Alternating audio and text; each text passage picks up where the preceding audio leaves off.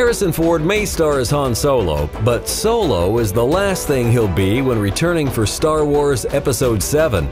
Yes, the J.J. Abrams directed addition to the mega popular series will apparently also feature original cast members Carrie Fisher and Mark Hamill, which should make Star Wars fans about as giddy as they can get. Abrams reportedly made a statement saying, We are so excited to finally share the cast of Star Wars Episode 7. It is both thrilling and surreal to watch the beloved original cast and these brilliant new performers come together to bring this world to life. We start shooting in a couple weeks, and everyone is doing their best to make fans proud. Abrams is speaking about his new cast as well, including fresh faces like Oscar Isaac and Adam Driver rounding out the rest of the new characters.